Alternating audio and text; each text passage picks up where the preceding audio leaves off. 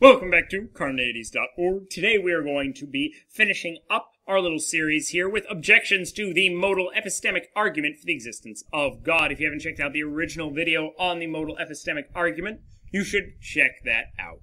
Now, in this video we're going to be covering six objections, because I like the number six, to this argument. Let's take a look. So, once again, this argument was offered on YouTube by a YouTuber called The Dutch Philosopher, and the original argument is attributed to Emmanuel Rutten. The argument goes as follows. For all propositions P, if P is necessarily unknowable, not known in any possible world, then P is necessarily false, not true in any possible world. The proposition God does not exist is necessarily unknowable, not known in any possible world. Therefore, God does not exist is necessarily false, false in all possible worlds.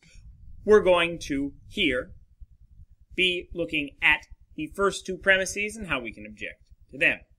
The conclusion, of course, is therefore God exists necessarily. So, the first premise, our objection is going to be there are many worlds, or there may be many worlds, that don't have knowers. So, imagine all the possible worlds that do not contain things that are capable of knowledge. Similarly, there's a possible world that's empty, kind of like the empty set, that doesn't have anything. It doesn't contain any knowers. Maybe there's some possible worlds that only have hydrogen and nothing that can know, or have beliefs in any way. It seems that there could be many possible worlds that don't contain knowers. There seem to exist truths about those possible worlds that can only be known by first-hand experience. They could be in some way drastically different, and we would have no way of knowing. And in fact, no one would have any way of knowing because there don't exist any knowers in those worlds. To assume that there are no worlds without knowers is to presuppose the conclusion that some necessary being, some being that exists in all worlds, exists, and beg the question. Our second objection is the statement an all-powerful evil deceiver does not exist also seems to be necessarily unknowable. And it seems to follow from this principle, this first premise, that a lot of things would be necessarily false that we wouldn't consider necessarily false. The problem is that if both of those statements are necessarily unknowable, then there's no way for us to distinguish between things like an evil deceiver, Ed, and God. And the problem, of course, is that those as necessary beings leads to a contradiction. So we have a problem with our original statement. We have a problem with our original principle. If that principle alone has led us to a contradiction. Speaking of leading us to contradictions, objection three. Some true statements cannot be known. In this objection, going to take a little longer than the others. It's going to get a little logicy. I apologize, but it should show conclusively that not only is this principle false, but it is necessarily false according to the laws of logic, if you believe in such things. So, once again, our principle is for all propositions P, if P is necessarily unknowable, then P is necessarily false. We're going to represent this logically with the following statement you don't know what that means, you should watch my series on the 100 Days of Logic. But I'll explain it anyway. For all P, it's necessary that for all subjects S, it's not the case that S knows that P implies that it's necessary that not P. Now, take the statement, no one knows this statement. It has to be true, and no one can know it. If someone were to know it, then it would in fact be false, and therefore not knowledge. Because if someone knew it, then it wouldn't be the case that no one knows this statement. If it was false, it couldn't be knowledge, because knowledge must be true. So it couldn't actually be the case that they knew it. But if in fact no one knows it, then it is true, but unknown. Those were the two criteria we needed to prove incorrect our original principle. But if that's not convincing for you, let's take a look at this logically. So, The statement, no one knows this statement is going to be represented by n, and n is just equivalent to, for all s, it's not the case that s knows n. Pretty simple. Knowledge is just going to be ksx, that's just s knows that x. It's going to be defined as justified true belief. You really don't need the justified or the belief part for this argument, so if you have other opinions about what knowledge is, don't worry about it. We'll represent that with for all s and all x, s knows that x is identical to s believes that x, and s is justified in believing that x, and x, just as the case.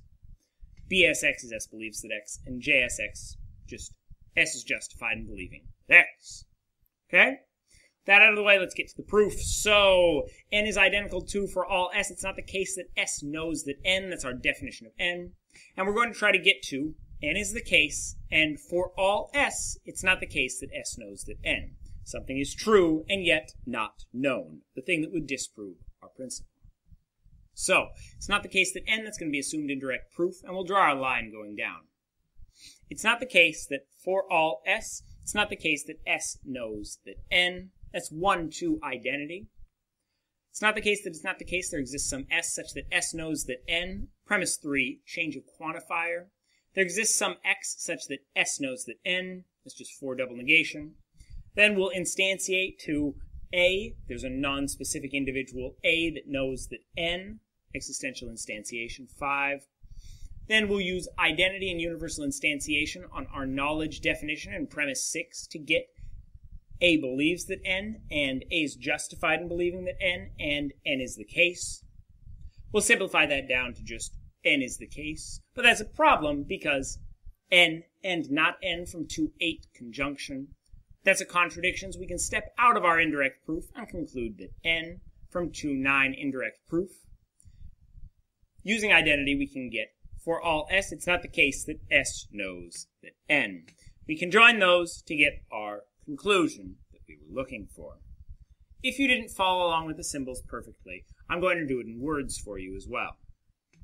The sentence n is identical to for all s is not the case that s knows that n, our definition of n. And we're trying to get to it's the case that n, and for all s, is not the case that s knows that n. First off, we're going to assume n is false for an indirect proof. It is not the case that for all s, it is not the case that s knows that n. All we've done here is replace that n with the thing that we said it was identical to in premise 1. It's not the case that it is not the case that there exists some subject s that knows that n. That's just changing the quantifier from for all to there exists and moving the negation sign. We'll double negate premise 4 to get there's some subject s that knows n. We'll use existential instantiation to get from there exists some subject to a nonspecific subject A knows that N. Therefore, that nonspecific subject A believes N, is justified in believing N, and N is true, definition of knowledge. It's the case that N from N is true, that's just simplifying premise 7. It is and is not the case that N to a conjunction, therefore, it is the case that n from 2, 9 indirect proof, because in premise 9 we reached a contradiction. Therefore, for all s, it is not the case that s knows that n. S just, once again, 10 identity. Once again, we're replacing n with the thing that we said n is identical to by definition. And so we get our conclusion, which is a negation of our original principle, or is it? When you think back to the original principle, it had some modal quantifiers in it. Now we're going to take a step farther and show how you can actually prove that it's not only false, but necessarily false. So our last two premises from our lovely argument above, n and for all s, it's not the case that s knows that n. We concluded these two premises using only the rules of logic in our definitions, so we are allowed to use the necessitation rule on them to get it's necessary that n and it's necessary that for all s, it's not the case that s knows that n. It's the necessitation rule. Then we're going to do a short little assumed indirect proof here. We will assume that that principle we were talking about is actually true. We'll go ahead and universally instantiate it down to the s and n we were talking about. And then go ahead and just use modus ponens on this to get it's necessary that not n. However, we already have it's necessary that n, so we end up with a contradiction. So, stepping us out of this indirect proof, we get it's not the case that for all p, it's necessary that for all s, it's not the case that s knows that p implies that it's necessary that it's not the case that p. The cool thing is because we've proven all of this within the rules of logic, not only can we conclude is false, we can conclude that it's necessarily false with our necessitation rule once again. So, the proposition God does not exist is necessarily unknowable. It's not known in any possible world. Objection number four. A contingent God might know that God does not exist in the actual world. A God that existed in some possible world might know that God does not exist in the actual world. Basically, if there was an omniscient being that existed in only some possible world, that being would know all the truths. And if it was the case that God did not exist here in the actual world, that being would know it. They would know that God doesn't exist. Omniscience doesn't entail necessity. So, they could be an omniscient being in another possible world that was only existing in that world, or existing in a set of possible worlds that did not include the actual world. Therefore, it's possible for it to not be known, or rather for it to be known that it's not the case that God exists. Objection number five, the proposition God does not exist is necessarily unknowable seems to be necessarily unknowable, or at the very least, it's not terribly well justified. It seems that it's a pretty tough claim to justify. You have to know about basically all of the possible worlds to prove it, as is the same with premise one. Unless you can show it's logically impossible to know, the claim seems insufficiently justified. And finally, there seems to be an equivocation between two different uses of necessarily unknowable. This may not be apparent just looking at the argument, but if you look at Rutten's defense of it, it becomes quite clear. So, in the first statement, necessarily unknowable takes into account and allows for contingent omniscient beings, beings that can exist in one possible world and know everything there. Because he claims to support it, well, what if there was one omniscient being that only existed in one possible world and knew all the truths?